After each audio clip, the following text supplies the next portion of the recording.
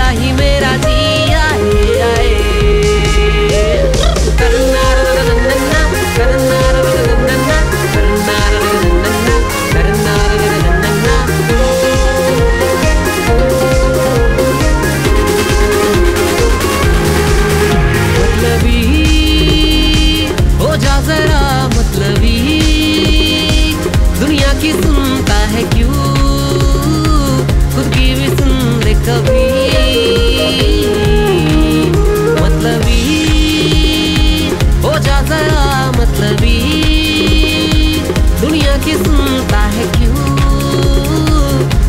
Que más